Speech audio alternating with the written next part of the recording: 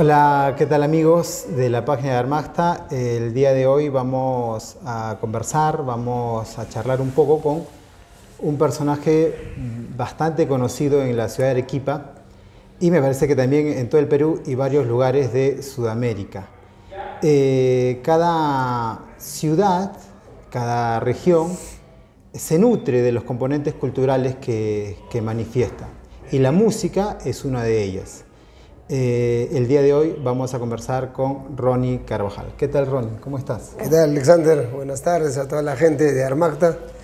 Y bueno, acá contento, ¿no? Para, la entrevista.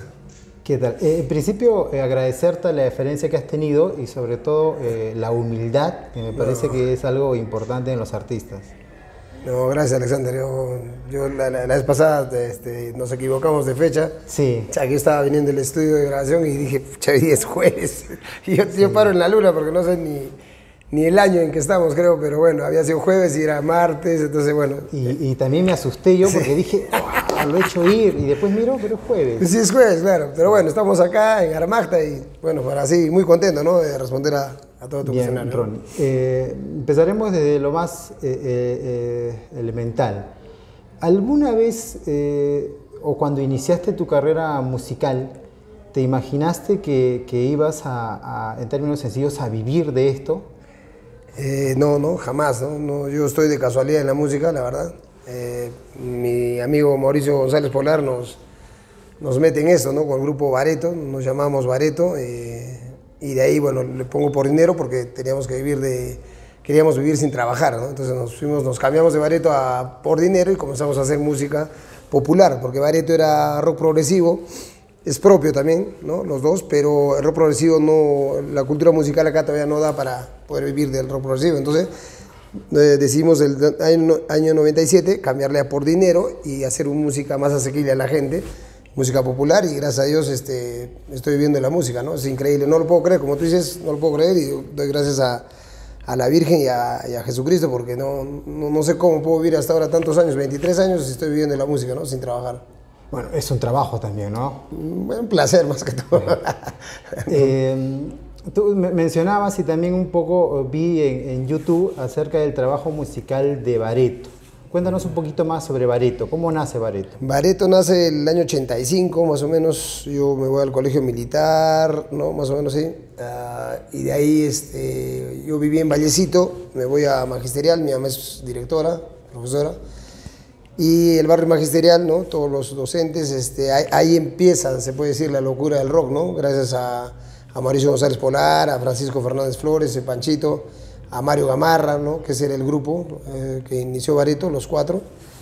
Y, empezó así, con un piano en mi casa, que yo solo jugaba pelota y Mauricio me dice, oh, loco, ahí tienes, hagamos un grupo de rock. Yo le decía, ¿qué es un grupo de rock? no tenía ni idea, ¿no? Entonces yo jugaba pelota al frente de mi casa, justo había una cancha. No, vamos a, ahí tienes un piano, sí, de mi mamá. Y comenzamos a, a chapalear. Eh, yo nunca he sabido música, no sé ni escribir, ni, ni leer música, nada. Nunca he estado en conservatorio de nada. Pero como teníamos ahí para chapalear el, piano, comenzamos a, tocar, salió, salió Qué Calor con Bareto, y ese primer tema que hicimos, y de ahí salieron muchos más, ¿no? Y fue rarísimo porque escuchábamos rock argentino mucho, lo que es este Charles, Spinetta, todo ese género, Cerú Girán, entonces eh, comenzamos a hacer rock progresivo, nos encantó mucho, ¿no? Y de ahí nace Bareto el, el año, los 80, ¿no? 85 hasta eh, que ya consolidamos algo muy fuerte como Bareto. para mí era una banda, es un tesoro para mí musical de Arequipa, que gracias a Dios está en Spotify ya. Eh, a la gente que lo quiera escuchar, entra a Spotify y le pone Bareto con doble T, que no se confunda con el grupo de Cumbia de Lima, que es, es con una T y son amigos nuestros, ¿no? Es una muy bonita coincidencia de repente con el nombre, pero Arequipa es, el Bareto nace en Arequipa, es mucho más antiguo, es del año 85 y se escribe con do, doble T. Entonces ahí van a escuchar rock progresivo, que es lo mismo de por dinero, pero la, la, época antigua, ¿no? De rock progresivo. Así nace Bareto y bueno, gracias a Dios para mí es un tesoro porque lo hicimos en, eh, en Argentina, lo masterizamos y mezclamos todo en Argentina porque es un trabajo muy, muy lindo para nosotros y le mando un abrazo a Dan Guise, ¿no? el ingeniero de sonidos, a Leonardo Rocco también, Leandro Rocco, eh, que gracias a ellos estuvimos en Buenos Aires y él también es parte del grupo.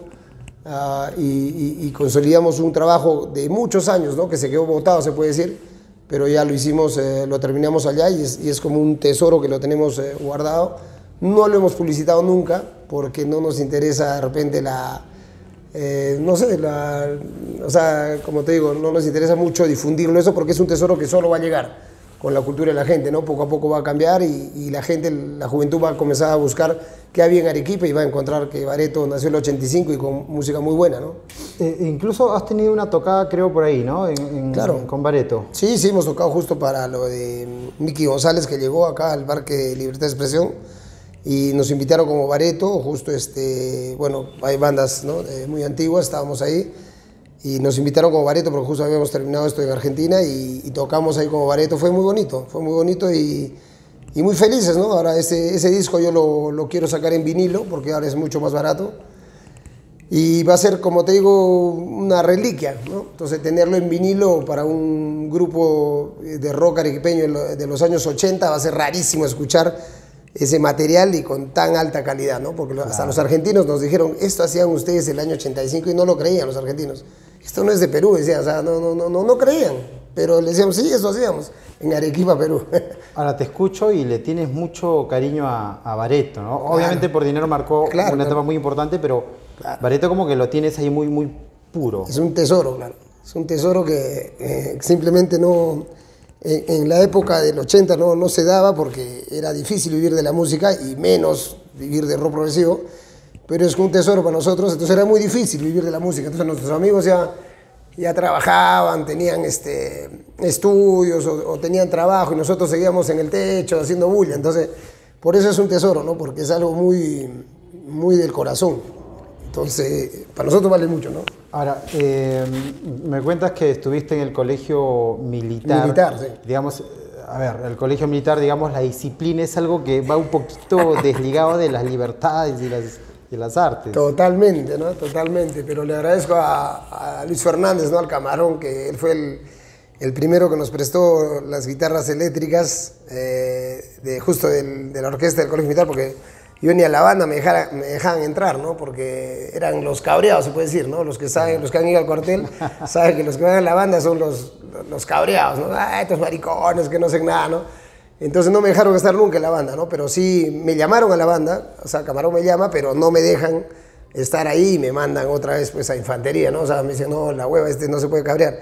Pero lo conozco a Camarón todo y por la relación de él con Emilio Mesa, que era jefe, jefe de banda, él era mi técnico, él era de la 31, eh, ahí con él nos juntamos, ¿no? Justo para hacer bareto y él tocaba abajo y como era jefe de banda lo conocía Luis Fernández, ¿no? Que es muy conocido, ¿no? A nivel nacional ha ganado que no sé cuántos premios, creo más de, de, cuántas medallas tiene para Arequipa y para el colegio militar, ha sido campeón nacional, el colegio internacional pues lo agarró, campeón nacional, o sea, ya cansado de ser campeón nacional, creo, Luis Fernández, el camarón, el famoso camarón, y él nos presta las primeras guitarras eléctricas, me acuerdo, del colegio militar, ¿no? Y en, verano, en enero, ahí con Emilio Mesa nos, nos trajimos las guitarras a la casa y, y, primera vez en nuestra vida que teníamos una guitarra de verdad, ¿no? Porque tenía seis cuerdas.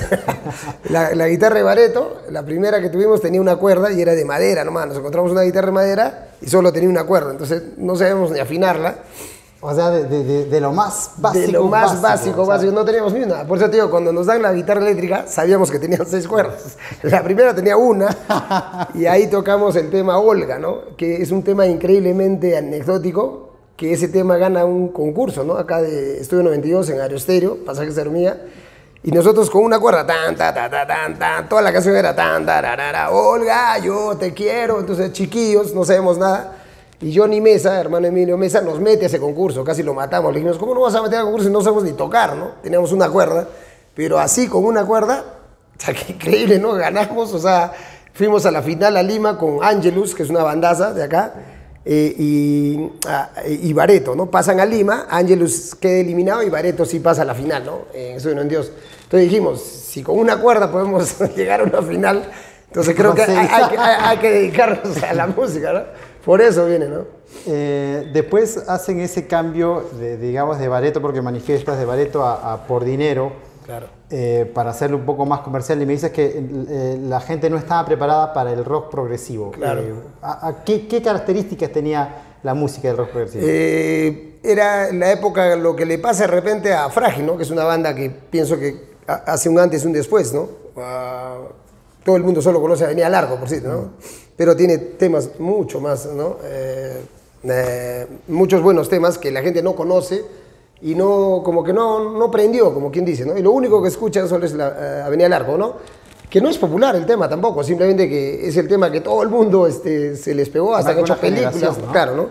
Pero tiene muy, muy, buenos temas, ¿no? Porque ellos, este, bueno, les gusta, me imagino, Peter Gabriel, me imagino Genesis, Yes, o sea, Rush, ¿no? Son bandas de rock progresivo. ¿Y por qué eh, no, no, daba? Porque ese tiempo eh, en Perú, eh, claro que hay bandas muy buenas en Perú, ¿ah? o sea, el punk se creó en Perú, imagínate, mm. no en, Europa, o sea, es, es acá, increíble, ¿no? es en Perú banda peruana, ¿no? O sea, es increíble eh, que el punk se crea acá en, el Perú. Y, este, y de ahí viene, este, había bastante cover en Perú, o sea, hacían cover, cover en inglés y le ponían en castellano. Y eso me parece mal también porque este, no es, o sea, la gente pensaba que eran sus canciones, pero no eran sus canciones. se hizo mucho, ¿no? Se hizo mucho eso, ¿no? Entonces, y lo que pasa ahorita en la cumbia y en todos lados, copian temas de Brasil y le ponen su letra y todo el mundo, ah, qué genios que son, pero no, no hay nada de composición, solo copian, cambian la letra y nadie conocía, pero ahora con el internet tú puedes al toque saber si es una copia o no, ¿no? Antes no había el internet, el acceso a, a ver YouTube, no, no había esa vaina, entonces tú traías temas de otro lado, eh, por un ejemplo, por, ¿no? ¿Por qué se fue? ¿Por qué murió? ¿no? Todo el mundo piensa que es de acá de Perú, ¿no? pero jamás, eso es un tema americano, o sea, no es de aquí, ¿no? es de afuera. Y le cambiaban la letra y, todo el mundo se volvía famoso y, y no me parece bien. Entonces, por esa parte me gustó, por decirte, este, lo que hacen muy buenas bandas, una de ellas, por decirte, fue Frágil, que era su material, ¿no? Temas propios de Andrés Zulú, de, de, Tavo, de todos ellos, y que fue buenísimo eso, ¿no? Entonces, y, por lo mismo que Frágil no, no sigue, ¿no? O sea, ¿te das cuenta? Ahí quienes más eh, comenzaron a agarrar, este, Arena Hash, Río, porque era música más, más simple. Entonces era mucho más asequible a la cultura del pueblo, ¿no? Porque caballeros este, no, no tenemos una cultura musical, ¿no? Eh, muy fuerte, entonces no, no, no, sabemos mucho de música, tú le pones a, la gente a carro progresivo ahorita mismo y la gente como que, ¿no? Eh, ni el 10% conoce, pero le pones este, de repente un reggaetón y todo el mundo comienza a saltar, ¿no? O sea, a, eso vamos, ¿no? Estamos en un país muy rico, ¿no? En lo que es este, el guayno, lo que es este el rock, el rock, perdón, el guayno ayacuchano, o sea, tenemos eh, García Zárate, tremendos exponentes, ¿no? Alomía Robles con el Cóndor Pasa, tenemos riqueza cultural increíblemente, ¿no? Entonces, lo, que da pena es que simplemente las radios comenzaron a, a, tocar todo lo que, lo que era más fácil, ¿no? Vender, ¿no? Entonces, da pena un poquito, ¿no? O sea, yo, eh, en la época del terrorismo, por decirte, que toquen, por decirte, temas que no vaya con la coyuntura del momento, ¿no? O sea, un rock, por eso yo respeto mucho a lo que es Haas, por decirte, ¿no? Este, que es Fiorella Cava, que antes era Sergio Cava, que era hombre, ahora se cambió de sexo, pero ellos eran los Haas, ¿no? Entonces ellos, eh, me acuerdo que, que ellos este, se ponen contra lo que era el gobierno, ¿no? Otros se vendieron, ¿no? Como Raúl Romero se vendió, ¿no? Le hice una canción, yo no soy aprista, pero le hice una canción a Alan, ¿no? Y le pagaron un billete, dice, no sé, o sea, terrible, tantas cosas. Hay mucha gente que la canta eh, mucho, ¿no? Entonces, eso es lo que, lo que da pena, ¿no? Lo que ha faltado es huevos, como quien dice, ¿no? O sea, ha faltado huevos eh, del rock acá en, eh, en el Perú y las radios, este, hasta ahorita mismo tú sigues escuchando radio y ahí me parece mal porque es lo mismo, parece que, que, le ponen play nomás y sigue sonando, tú pones la radio y va a sonar lo mismo, de lo mismo de siempre y, vas a escuchar lo mismo, los mismos temas de Río, de Arena Hash. Y yo no tengo nada contra Río ni contra Arena Hash, pero hay tantas bandas buenas en Perú, buenísimas, ¿no? underground también, pero nunca han tenido la oportunidad de salir en radios. Entonces por eso nosotros como Bareto no íbamos a salir tampoco, era casi imposible salir eh, eh, en las radios, por eso cambiamos a Por Dinero, ¿no? porque es una música mucho más popular, mucho más fácil de escuchar. Y eh, gracias a Dios tuvimos el apoyo de Aerostereo acá, que antes había más radios de Arequipa, ahora ya casi todos son sucursales, el mismo Aresterio creo que ya lo han vendido, no sé, ¿no? Es, es otra radio y este, podíamos sonar con nuestras canciones, ¿no? Entonces, por eso por dinero tiene el éxito que tiene, al menos en el sur del Perú, ¿no? Porque sonaba en radios mucho, ¿no? Em, ahora, cuando hacen el viraje a, por dinero, ya sé que lo has respondido muchas veces, el nombre es bastante peculiar, por dinero. Sí, por dinero y, y es sarcásticamente también, ¿no? Porque yo le pongo por dinero, primero mis amigos decían, estás loco, no ¿Cómo vas a poner por dinero, ¿no? Eh, nos va a agarrar o sea, botellazos, ¿no? Pero yo decía, no, por dinero, porque había muchos artistas que llegaban. El Perú siempre ha sido, ¿no? De todo lado, si, si te has dado cuenta, de mexicanos, venezolanos, toda la vida han venido a Perú y acá han hecho mucha plata, ¿no? Y hasta decían las cholitas, ¿no? Arrechas que decían, ¿no? Entonces, eso da pena, ¿no? Falsos artistas que no, querían, o sea, eh, no había un cariño por el, por el pueblo donde iban a tocar si no venían a, hacer plata, ¿no? Y encima todavía les decían cholitas eh, arrechas y todo. Entonces eso, da pena. Entonces yo dije, no, por dinero, por cagarme de risa de, esos falsos artistas que, ¿no? que venían a, solo a, hacer dinero. Entonces yo me puse por dinero sarcásticamente riéndome de esa gente que, que viene solo a hacer plata, ¿no? Y pegó bien. Sí, nadie quería llamarse así, pero hasta ahorita ya tiene 23 años por dinero. Eh, cumplimos este 15 de mayo y tocamos en el Molino justo este sábado y pegó bien, increíblemente, gracias a Dios, mira hasta dónde ha llegado esta bandita, ¿no? Sin ser grandes músicos, pero con música fácil, ¿no? Y buenas letras, letras sinceras, hemos podido llegar regularmente. la, primera imagen que yo tengo de Por Dinero, por ahí que se remonta eh, a los 12, 11 años, mm. en un cassette, aquellos años ¿no? Cassette triste realidad. sí, triste realidad. Ahora hablamos de, triste realidad. Sí, sí. Eh, y, era música alegre, contagiante, ¿no? que, muy impactante. Eh, ¿qué, ¿qué, influencias recibe por dinero? Eh, totalmente. Era, nosotros, este, como te digo, veníamos como bareto y ahí decidimos cambiar, ¿no? Dijimos hay que hacer algo popular. Y ahí nos sentamos y yo no quería cantar. Yo era cantante en bareto, pero yo dije, no, si hago música comercial, popular, yo no canto. Le dije, ¿no? A Renato, que en paz descanse, al baterista, a todos les dije, no, yo no voy a cantar, busquen un cantante, ¿no?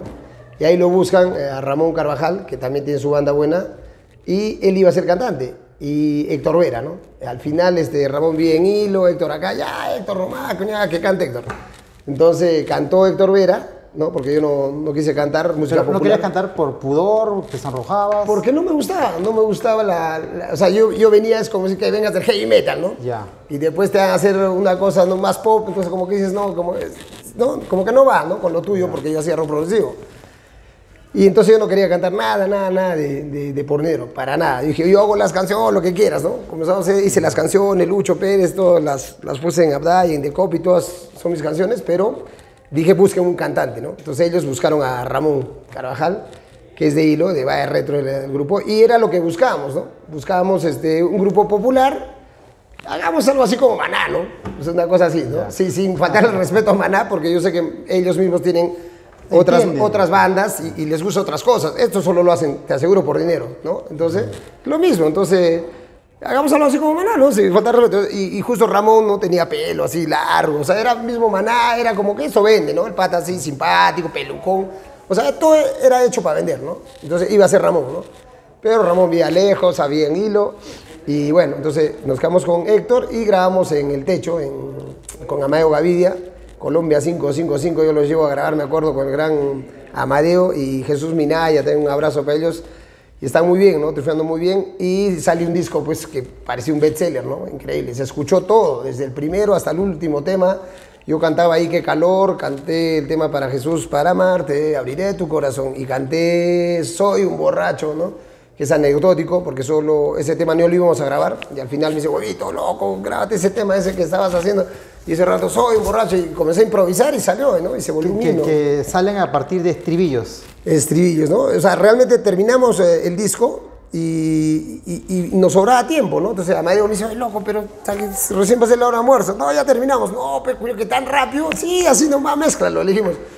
Y se quedó impresionado, ¿no? El pata, porque ya veníamos eh, preparados, ¿no? Entonces cada uno grababa bajo, batería, teclado y, guitarra, así, cuatro instrumentos, nada más. Es decir, habían alquilado el, el, estudio de grabación. grabación claro, pero habíamos ensayado como locos acá, full. Entonces ya, no teníamos que ir allá a, poner nuevas ideas, sino íbamos simplemente, ¡pum! Tocamos y se acabó. Y les quedó tiempo. Y, nos sobró tiempo. Entonces ahí eh, Renato me dice, loco, este, esa canción que te escuché que estabas hueveando, ¿cuál? Le digo, y, yo estaba hueveando una canción que era...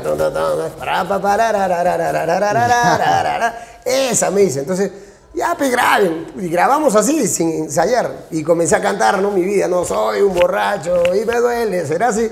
Y todo fue improvisado. Ese rato comencé a cantar lo que se me salía y mira, cómo es cuando las canciones son sinceras, pegan en la gente, increíblemente. hacemos un paréntesis aquí, te escucho y, y- y la verdad que no te incomoda contar cómo salió, ¿no? Es decir, el- lo, lo natural que salió, porque quizás te digo esto porque ahora hablabas también de los artistas, que, que la pose y todo, Claro. porque quizás otros hubiesen, porque- porque son hits, ¿no? Son, son temas que, que se escuchan en Arequipa, que ya casi son himnos de Arequipa, Sí, sí. y que bien podrías decir, ese día estuve inspirado, que eso nació de una no, no. inspiración, y, y no como hacen algunos. Para nada, ¿no? Como te digo, no, no somos, o sea, yo no soy ni siquiera leer, no sé ni leer ni escribir música, yo soy futbolista y, y estoy en la música de casualidad, como te dije al comienzo, ¿no? Entonces pienso que la sinceridad es lo que, lo que, lo que hace que llegue a las personas la- las canciones. Cuando una canción es sincera, es como el anticucho, ¿no? Te pasa para el corazón y se, se queda en tu corazón, ¿no? Ahora, eh, es cierto, eh, hay, digamos, cada artista, cada cantante tiene su, su- su propio bagaje, escucha música que le gusta particularmente. ¿Qué música te gusta a ti? A mí de verdad me gusta el guayno, o, o sea, porque mi padre es eh, de Alca, Cotahuasi, mi mamá es de Ayacucho, ¿no? de Chipao, de Puquio. Entonces, me encanta el guayno, simplemente que, simplemente que yo he crecido ya en la ciudad, ¿no? Claro. Entonces, yo, mis amigos, ¿no? ACDC, Peter Gabriel, Genesis, Yes, Rush, eh, Spinetta, Jeco, Box Day, o sea, tanto rock argentino y escuchábamos en inglés que mm, crecí en esto. Entonces, por eso, cuando mis amigos me llaman, yo jugaba pelota nomás, escupimos lo que escuchábamos, ¿no? Escuchábamos Genesis, todas esas bandas, entonces, ¿no? Flow, entonces comenzamos a hacer rock progresivo porque nos gustaba, porque escuchábamos mucho esta música y nos encantaba. Claro que ese rato yo, como te digo, me hubiera, eh, me hubiera encantado hubiera hacer, eh, hacer guaynos de repente, pero yo no sabía ni tocar una guitarra. Como te dije, teníamos una cuerda, con una cuerda no creo que pueda hacer guayno, ¿no? Entonces comenzamos a hacer rock, pero con una cuerda. Tan, ta, ta, ta, tan, tan, ta. Era única, la única canción, Olga, y está en una cuerda. Entonces se dio todo de casualidad, todo se dio de casualidad. Y ahora, gracias a Dios, me he dado, como decir, me he dado el gusto de hacer un, un guainito, ¿no? Justo ahora, este año, ¿no? Y, y lo he hecho de los guainos que, que escuchaba mi papá y mi mamá, de esos guainitos de Huérfano Pajarillo, de Ayacucho, eh, Coca Quintucha, o sea, la, la música Ayacuchana también bastante es tierna. buenísima, ¿no? Muy linda. Y, y con, también con, con temitas de, de Cotahuasi, de Alca. Y le he creado al final como para, como decir, ¿no? Para eh, la cereza, eh, como dice, ¿no? La- en el pastel, eh, un guainito que es para Alca. Ese sí es propio, o sea, lo he creado ese guaino. Y le hemos metido pues, todo acordeón, violín, le hemos metido todo, ¿verdad? Muy lindo, ha quedado muy lindo y me he dado el gusto de hacer por fin un disco de guainos, ¿no? Que es recopilatorio de temas, porque yo no hago guainos, la verdad no compongo ni guainos, pero son temas que he escuchado de mi papá y mamá desde chivolo y los he hecho en, en reggae, guaino, ¿no? Me, me, así una fusión y al final he hecho un tema propio, guainito de por dinero para, para, eh, eh, para mi tierra, ¿no? Alca, la tierra de mi papá y que quiero mucho, ¿no? Entonces ese, ese disco ya está terminado, es, me- es- ha sido un placer hacerlo, un gusto hacerlo y, y me ha dado ese, ese gusto, ¿no? Eh, de hacerlo, ese guainito. Ya lo, ya, lo hemos terminado y, y ya me vas a ver por los semáforos ahí seguro este, esta semana que viene vendiendo esos guainos de por dinero que, que están dando la hora. ¿eh? En cada fiesta ta, lo ponen y es la locura. Esto mata más que el COVID, loco. Más que el COVID. Franco. Eh, por dinero, eh, de repente alguna gente le conoce, pero seguramente otra sí. Por dinero tiene mucho de ska. Sí, sí, sí. Justo por, por la banda que, que admiro mucho, que es los Haas, Fiorella Cava, o sea, el que era Sergio Cava, que se cambia de sexo, pero él no arrugó, ¿no? Él- hay un tema, tren, al, tren, a la, Tren a la Luna, creo que es algo así, que habla justamente de lo que pasaba, ¿no? Ese, ese tiempo, ¿no? De, de toda la gente que, que mataban, de todo lo que ha pasado, de todo- toda la historia, ¿no? Dictaduras y matan gente, terrorismo, todo es interés, todo es por dinero, todo se hace por dinero, ¿no? Entonces, es lo triste, pero él no arrugó, ¿no? Él no arrugó y, y por eso de repente se lo bajan también, porque él está sonando muy bien, muy bien.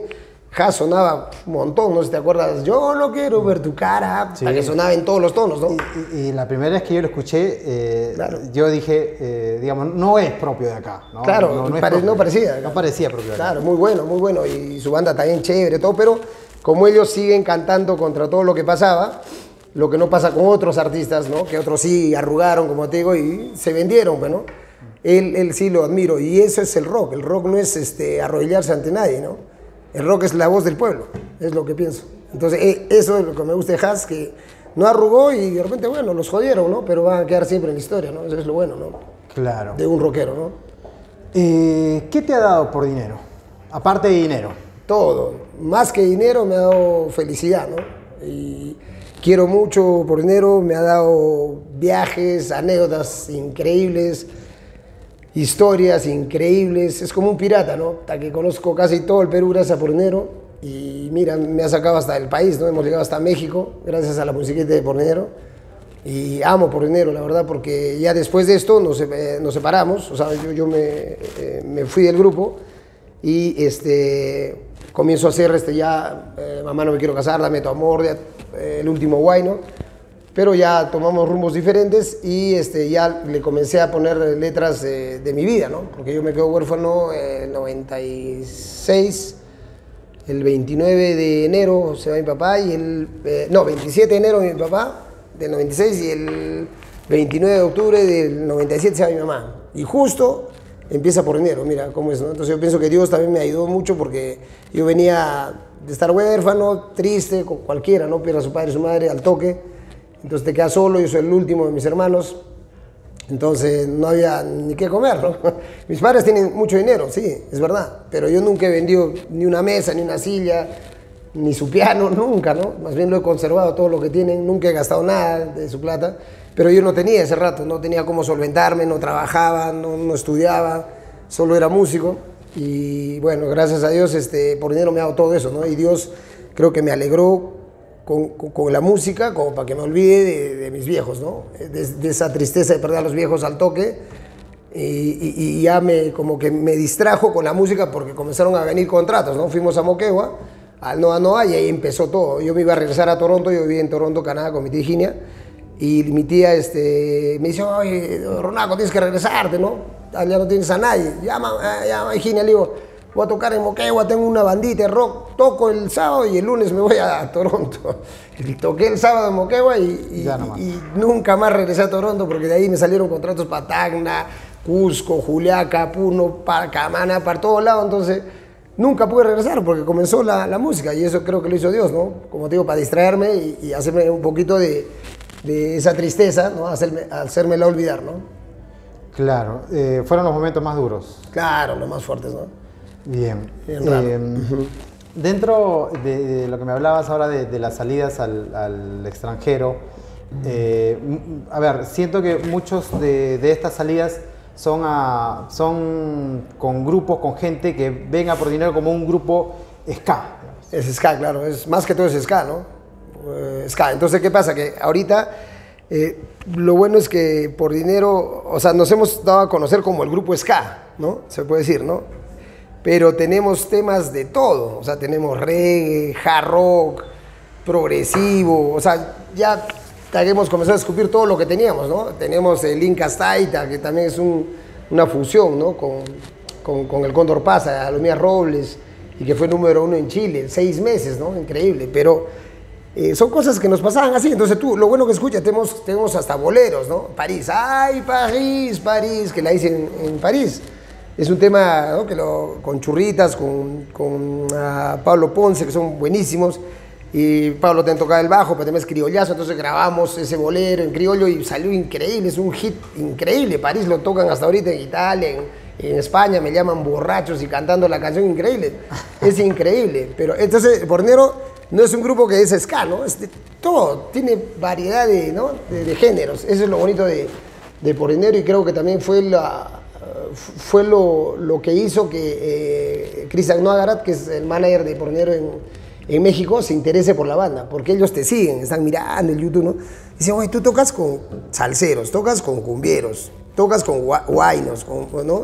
con música vernacular. Porneros toca con todo, eso no pasa en México. En México o todos hacen heavy metal, o todos hacen ska, o todos hacen reggae. Tú no puedes con una banda de reggae tocar con otra, otro género.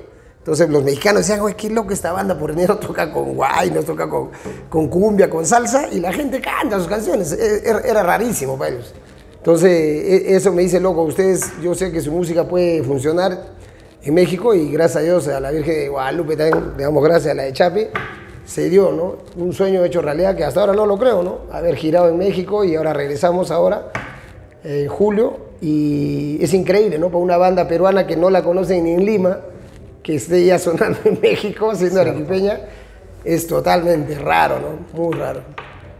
Bien, eh, naturalmente eh, cuando por dinero ya, ya, alcanza un vuelo, seguramente hay, hay momentos en los, que, en los que uno dice, ya, hasta aquí dimos, es nuestro techo. Claro. ¿Les pasó eso? No, gracias a Dios no, porque uh, siempre pensábamos que, que, el tesoro está en, en el camino, ¿no? Siempre, siempre, como toda la vida dijimos, ¿no? Los piratas, nos dicen los piratas del rock, estos piratas, ¿no? Y, y, el tesoro está en el camino, o sea, ya nos dimos cuenta, porque cuando tú llegas a la meta, ya llegaste, ya no hay más, ¿a dónde vas a ir? Entonces ahí recién te das cuenta que el tesoro no estaba en la, en la meta, sino el tesoro está en subir la cumbre, es como cuando subimos al Misti, ¿no? Hemos subido como cuatro veces y a la cuarta vez llegamos a la cruz, ¿no? Lloramos como locos y, y nos dimos cuenta realmente a la cuarta vez que el tesoro estaba en todas las subidas que hemos, ¿no? Hemos intentado llegar a la cruz y nunca llegamos. Porque todos esos recuerdos, todo lo que hemos pasado, ahí está el tesoro de la vida. El tesoro de la vida no está cuando dices, ah, ya llegué, ¿no? Es ser pues, mezquino. Es ser un... Y eso, digamos, eso hay una, una, digamos, un conflicto ahora, porque ahora, la, la, digamos, me parece que las personas lo quieren mucho más rápido todo. Ah, digamos, lo, los artistas de ahora quieren tener un hit y ya. Mañana claro. vender mil discos y después ser famosos ya cuando es un proceso más largo. Claro, cualquiera es famoso, ¿no? O sea, cualquiera va a llegar, pero como dicen, ¿no? Fácil viene, fácil se va. Esa es la vida. Entonces, lo bonito de la vida es más bien que te haya costado, ¿no? Todo, ¿no? Mientras más cuesta, mejor. Y ahí está el tesoro, ¿no? Tienes todo eso, ese es todo el tesoro de la vida. Realmente te das cuenta solamente cuando ya estás llegando ya a la cumbre, te estás dando cuenta que el tesoro está en el camino y no en la meta, ¿no? Ahora, eh, hace un momento hablábamos de, digamos, de lo que hay detrás de los artistas, digamos, los empresarios, los managers y todo esto. Eh, yo cuando he escuchado algunas canciones eh, por primera vez tuyas, mm. o del grupo Por Dinero, claro. no tenía, sinceramente, no tenía nada que envidiarle a los grupos argentinos. Mm. Y, y, como los fabulosos Kailas, ¿no? Sí, pues sí. Entonces, y uno dice, ¿por qué? ¿Qué les falta al, al digamos, a la industria musical peruana para no, para no tener o para llegar a ese nivel? Claro. Eh, mira, todo el mundo nos ha dicho eso, hasta en México. En México, eh, Guadalajara, Toluca, DF. Y todos pensaban que éramos argentinos. Todos pensaban, los mexicanos pensaban que éramos argentinos. Le dijimos, no, está huevón, nosotros somos Arequipa. Hasta que los locos nos han abrazado, pero así, qué bacán, loco. ¿Dónde es Arequipa? Es en Perú, pero es al sur, es otro país. Le digo, y ellos felices porque este, México le pasa lo mismo que a Perú. O sea, viene un argentino, es productor de televisión, es, o sea, es todo, productor de radio, está todo argentino. Y no es así, los peruanos tenemos mucha riqueza musical increíble. Simplemente que siempre miramos al extranjero como mejor. Pienso que lo que nos falta es eso, que no tengamos esa envidia, esa mediocridad que decir, no, loco, ¿cómo va a ser este, este huevón vive acá, se chupa acá en la calle? O sea, ¿por qué no? no? ¿Por qué no puede ser el gran artista el que vive ahí en tu esquina o, se mete un trago ahí en el centro? ¿no? Y lo ves, es una persona normal.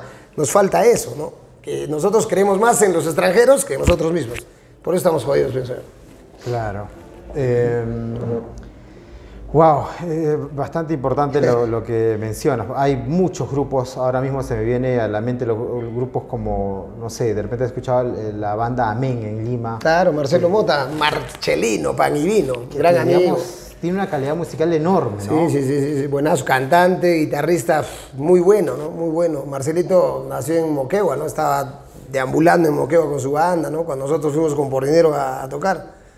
Y ahí estaban, ahí los locos, ahí pateando latas y bien, ¿no? Mira a dónde han llegado, ¿no? Los hombros ya están consagrados a nivel nacional, ¿no? Y muy bien por ellos. Es una gran persona, aparte Marcelito, un buen amigo, Pate Cocoloco, ¿no? Él me lo presenta con Guato y nos chupamos acá todo, ¿no? Ahora ya, bueno, ya no se puede chupar con él porque es un poquito ya, ya está más famoso. Pero yo sé que en el fondo él es el mismo Marcelino Pan y Vino que conocí. Ahora, eh, pasando propiamente a, a, las canciones, a los temas de las canciones, tú me cuentas que, que muchos de ellos nacen, digamos, de la improvisación, del momento. Sí, sí. Eh, y te pregunté algunas cosas. Yo sé que, que para algunos es difícil, pero de repente, de repente no. ¿Cuál a ti particularmente es el tema que más te gusta de, de los que has tocado o de los que has compuesto? Eh, el que más me gusta todavía, todavía, no lo he hecho, recién lo voy a hacer.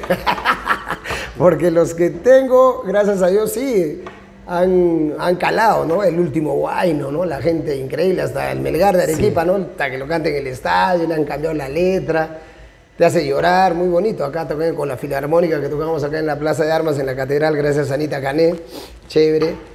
Este, increíble, ¿no? Hasta que me partió el corazón escuchar tantas, ¿no? Tantas cuerdas haciendo el último guayno. Y sí, se puede decir que el me gusta chupar también, ¿no? Ahora quiero ser como mi papá. Son temas que de, de chivolos no entendemos de repente, gracias. Gracias. De chiquillos no entendemos de repente a, lo- a los papás, ¿no? Pero después ya cuando uno crece, se da cuenta que uno quiere ser como su papá, ¿no? Y eso te hace llorar, ¿no? Y, y esos son los temas como que más, más me agarrado, ¿no? Eh, la presencia de tu padre en tu, la música. Claro, porque ese tema yo lo, lo saco en, en Lima eh, y Lucho, el que nos aloja en Lima, eh, mi primo Lucho, es, es al que le hago la canción Por ti, mi amor, Lucho, es él. Él es el que, Lucho Montoya, ¿no? Su tío es Edwin Montoya, un- el ayacuchano de oro, que no es un cantante pues famosísimo. El tío Eddie, un abrazo al tío Eddie, y el puquiano de oro, ¿no? Y Lucho estaba ahí yéndose a su trabajo y, y bueno, y él es el que hace, pues, ay carajo, no aguanto este, esta- este trabajo. Porque yo mientras dormía en el colchón en el suelo, él se iba a trabajar, ¿no? Seis de la mañana estaba bañadito, ya, cinco y media se separaba y mientras se cambiaba decía, ay carajo, no aguanto este trabajo, ¿no? Entonces todos los días decía eso. Entonces se fue al trabajo un día, agarré la guitarra y ya le comencé a sacar, si tú tienes un horario y, y no aguantas más, manda el mundo al carajo. O sea, ya le completo toda la canción y cuando llega le digo, mira loco, de todo lo que cantabas ya saqué una canción completa, ¿no? Entonces ahí el loco, bueno, esa es su idea, ¿no? De, de Lucho. Y, y- y también ahí salió Me Gusta Chupar, ¿no? Que él estaba en la ventana y yo, ¿no? Este, el mundo no es tan fácil, hijos míos, solo lo entenderás al ser papá, parará. Yo de niño no entendía a mis viejos y ahora quiero ser como mi papá. Y ¡boom! Y entonces yo lo vi llorar, ¿no? Él también, su papá, Lucho Montoya, ya falleció, el tío Lucho, ¿no? hermano de Eddie. Y es triste, ¿no? A veces cuando uno quiere hacer las cosas ya no está su papá, ¿no? O sea, es, es triste eso cuando uno pierde el tiempo, ¿no? Dice, no, pues está mi viejo, ya el sábado lo llevo, ¿no? ¿no? O está mi mamá, ¿no? Quiero llevar a almorzar, pero pues ya no están. Y a mí me pasó también, ¿no? Porque yo nunca he tenido dinero, pero cuando he tenido dinero con la música, no podía, ya no tenía a mis papás, ya no podía ni siquiera llevarlos a comer, ni a cenar. Entonces, eso también era lo, lo irónico de la vida, ¿no? Pero lo bueno es que la vida te da también otras mamás y otros papás, ¿no? Como dice Jesús, ¿no? Hey María, he ahí a tu hijo, ¿no? Hey Juan, he ahí a tu madre. ¿Qué te quiere decir? Que tu mamá puede ser una señora que no tiene plata en la calle y te la llevas a comer, es tu mamá. Es lo mismo.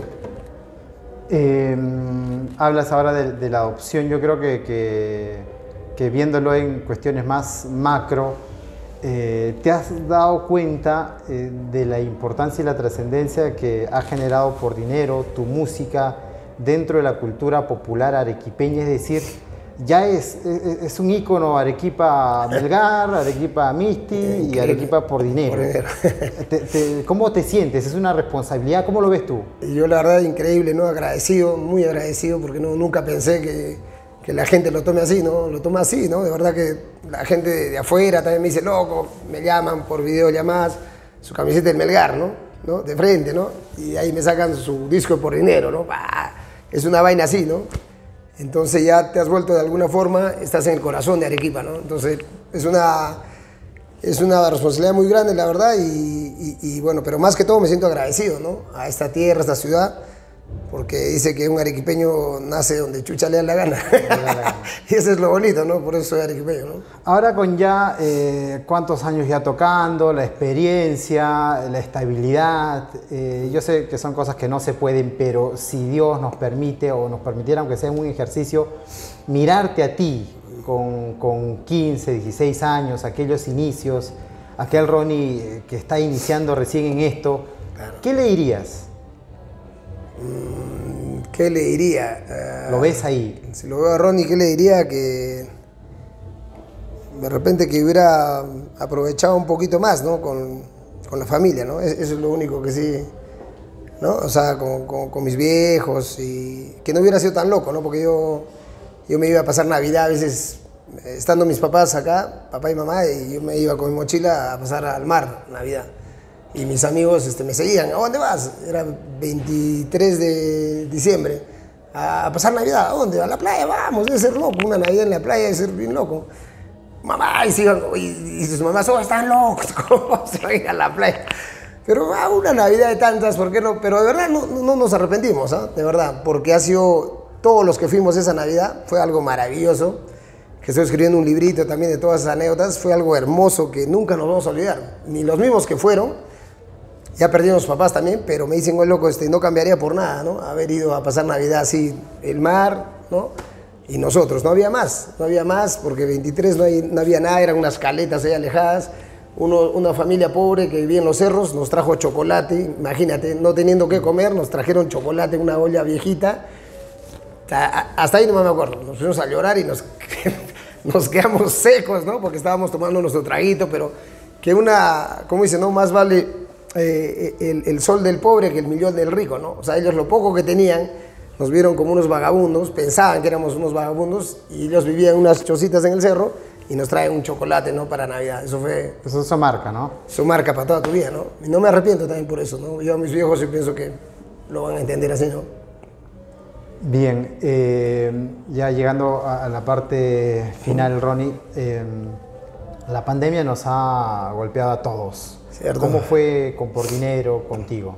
A nosotros, increíblemente, que nos ha ido para arriba, o sea, al revés, ¿no? La pandemia nos ha, pandemia, yo no creo de verdad en esto, con todo respeto, he perdido amigos, familiares, pero no creo en, en esto.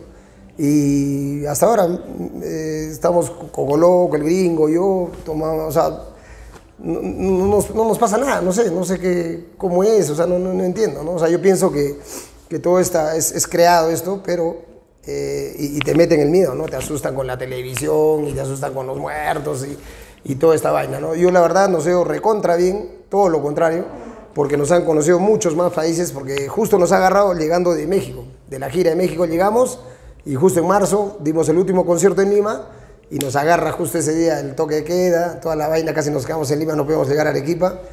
Y dijimos, lleguemos como sea Arequipa y nos morimos tranquilos, ¿no? Porque Arequipa uno puede morir tranquilo, ¿no? Pero en Lima dije, no, la wea. Y empezó toda esta vaina, ¿no? Y el virus a nosotros nos levantó un montón, porque en México hay muchos productores que nos han visto, entonces nos invitaban de Argentina, Colombia, Panamá, Nicaragua. Entonces ahorita por Latinoamérica nos han invitado a todos lados, Bolivia, a todo sitio. Entonces el grupo se ha hecho mucho más conocido en esta pandemia que, que, antes, ¿no? O sea, nos hemos de alguna forma internacionalizado gracias al virus, ¿no? Porque ya no hay conciertos en vivo, todos son virtuales, entonces nos invitaban de todos lados.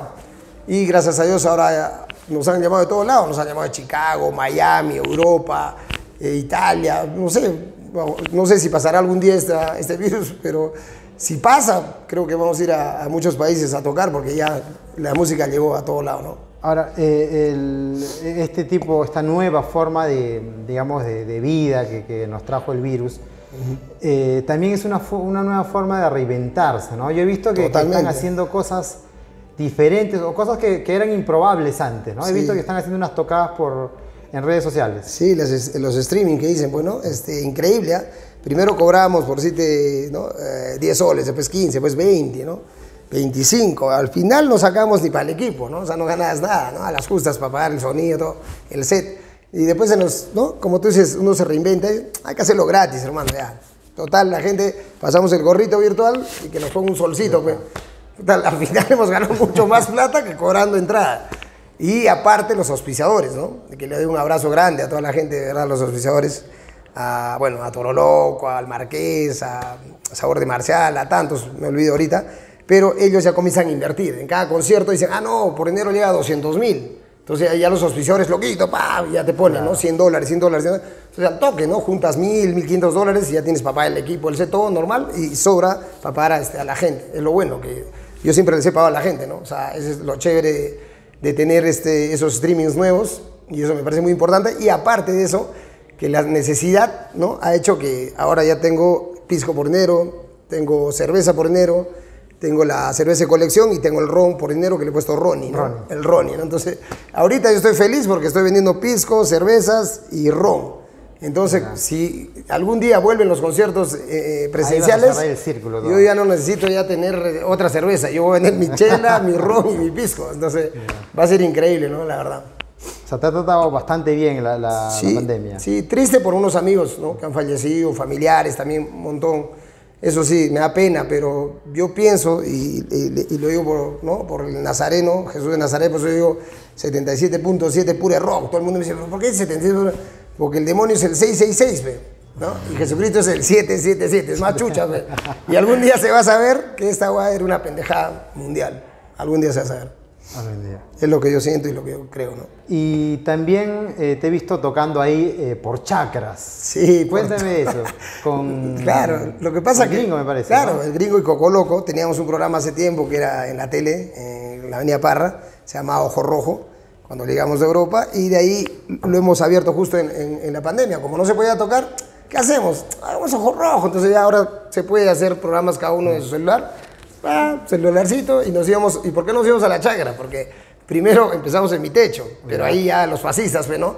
Te meten el cuco, el gobierno, "Ay, acúsalo, acúsalo, que la fiesta COVID, que no puede ser. Y la gente cojuda cree en eso y te tira a dedo, viene la policía, viene el serenazgo. Entonces yo tuve que escapar a las chacras. ¿no? me iba a un río, a un bosque, me metía a todos lados, caleta, para que no nos chape la policía. Ya. Y gracias a Dios, eso el programa lo hemos hecho un año sin parar y hace un éxito, Ojo Rojo, año. increíble. Y la gente está pidiendo, Ojo Rojo, Ojo Rojo, pero ahorita estamos grabando un disco, entonces hemos parado y estamos de vacaciones, se puede decir, ya regresaremos desde México. Ojo Rojo, no te prendas más, desde las playas de Sayulita. Así va a ser. Bien. eh, ¿Hasta cuándo vas a cantar, vas a tocar? Mm, no sé, yo no sé, yo la verdad que, como te digo, nunca empecé, creo en esto, ¿no? Nunca estudié para ser músico, nada, fue casual, Dios me lo regaló y Dios me lo va a quitar también. Mañana de repente, ¿no? Este, de repente me accidento, no, no, no sabemos, o me enfermo, o me da COVID y me muero también, ¿no? Pero yo no creo en el COVID.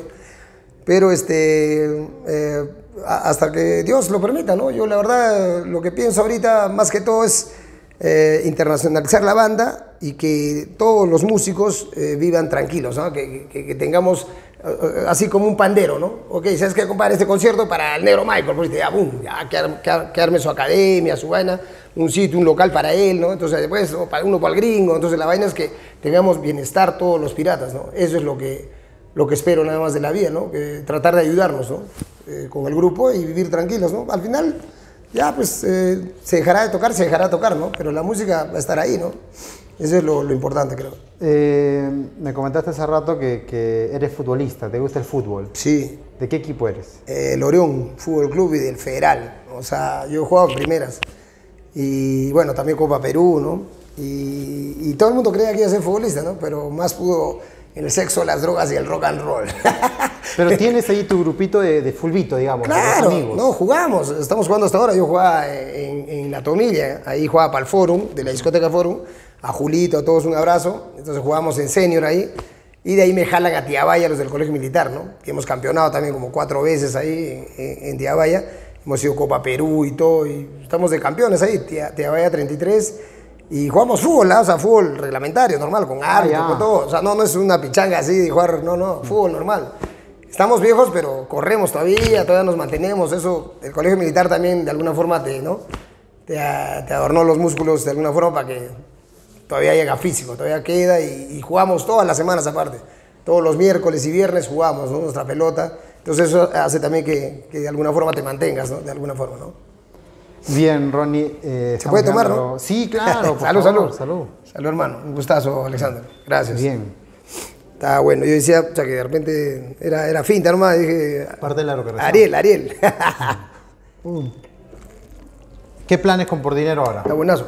Bueno, ahora el disco, eh, el de Wainos, que ya lo terminamos, eh, lo vamos a editar, ya lo están trayendo de Lima para venderlo. Voy a salir ahí a los semáforos con ojo rojo a vender el disco. No, pero eso de los semáforos, yo te entendía eh, a manera de, de, digamos, de alegoría, o lo vas a hacer realmente. No, lo va a hacer, claro. Si nos hemos subido a los, a los micros, con Cocoloco, subimos con cara- caramelos, charangos, normal. O sea, si no se puede tocar, hermano, Claro. es peor robar, ¿no? Hay que tener vergüenza de robar, pero no de, de tocar, ¿no? Los micros tocamos en los ómnibus, nos hemos subido y ahora queremos ir a los semáforos para vender este, este disquito de Guainos, que va a estar una locura, ¿no?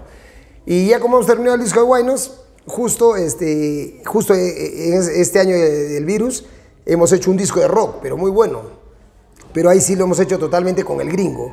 Y está recontra, lo queremos hacer, Dios quiera, ojalá, y la Virgen de Chapi nos lo, lo bendiga, que lo queremos hacer en Londres, ¿no? Porque él es inglés, el gringo. Entonces él, él ha, ha trabajado en Abbey Road, conoce, conoce, y queremos este, estudios de grabación analógicos, ¿no? No, no digitales, para ir a mezclar y masterizar allá, ¿no? Entonces es un sueño que tenemos, acá lo hacemos en alto calibre, siempre hemos grabado con los hermanos Asensio, que son buenísimos, y este, esa grabación queremos llevárnoslas a, a, a- a Inglaterra, ¿no? Para mezclar ese último disco de Pornero, que gracias a Dios en un año hemos hecho dos, ¿no? Hemos hecho el Guainito y este disco que ya lo estamos terminando, ya porque estamos grabando todos los días, un mes y ya lo terminamos. Y ojalá Dios quiera, ¿no? Que eso ya, pienso que ahí ya normal, creo que podemos colgar los chimuelos porque hacer un disco en Londres, imagínate donde nacieron los Beatles. A ¿Qué eso- más? a eso ¿Qué más puedes pedir en la vida? claro. O sea, ya ahí yo, ya, ya lo toco, creo. Que conseguiremos otros por dinero, por ahí, no sé. Rango. Eh, ahora me decías lo de la guitarra con una cuerda, después tocar en el techo, ahora pero- grabar en, en Inglaterra. Hay muchas similitudes con los Beatles. Hay muchas similitudes con los videos, de verdad. Pero ese es un sueño que ojalá se haga realidad.